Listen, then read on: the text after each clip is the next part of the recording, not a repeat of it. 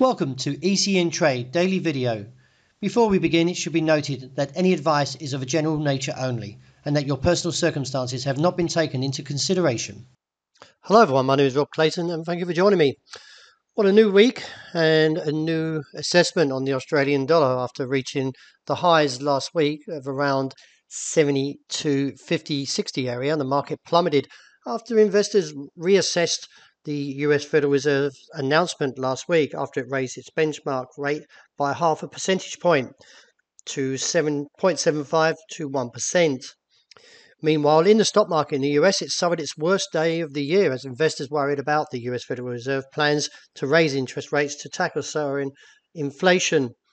Right across the board, the dollar index rallied and therefore saw the market plummet, with Australia wiping out all its gains after recovering from the lows of 70 cents and now looks back towards that bottom side of the range seen around 69 80 90 i do feel from there we could see another rebound that is from the support line and bouncing back towards the top side. So i'm not going to get bearish at the bottom side of the range and let's see at the start of the fresh week if the market can stage a return around Euro still respecting this level of 104.85.95 after at least near enough eight attempts to the downside, and from the previous posting an, a long-legged doji after the non-farm payrolls number, which come out as previously at 428,000 jobs, posting uh, a better forecast than um, 390, that is. So with the raise, now gave us uh, an unemployment rate,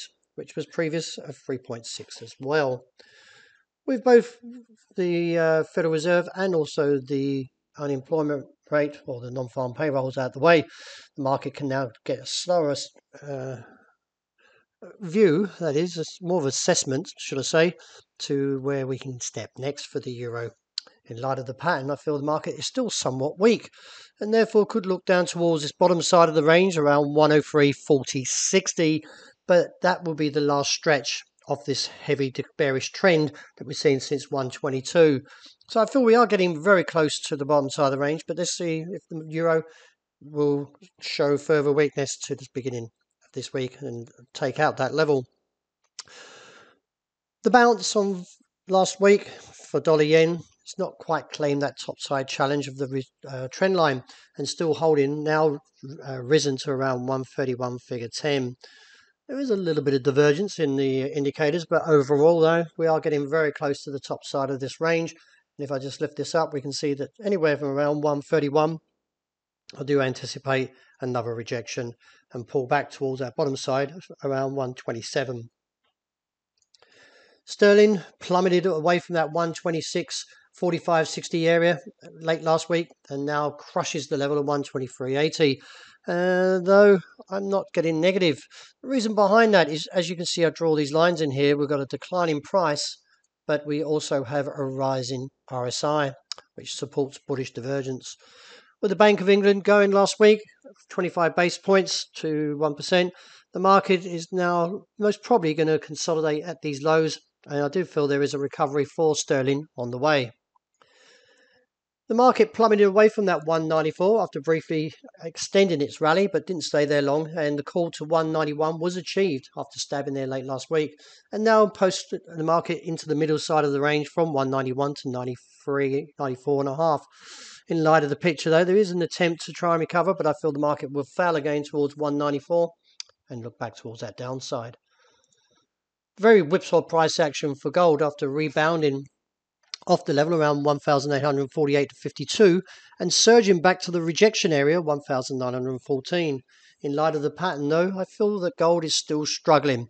And if we see a move under 1,870, just bringing down a little bit there, is that we are looking back towards the bottom side of this range around 1,848 and reassess.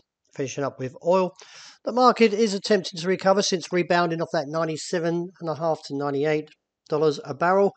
But I feel the pattern is still very much a lackluster price action, even though we have edged slightly higher. But the technicals are still slightly sluggish. In light of the picture, though, from the RSI and also from the MACD, I feel that we could see a weaker play into the start of this week, but not as weak until we see the market break the level around 102.50 with a cap seen around 113 figure 75. Well, that wraps it for the morning. Thank you very much for joining me. As always, look out for the intraday report and also the end of the day wrap.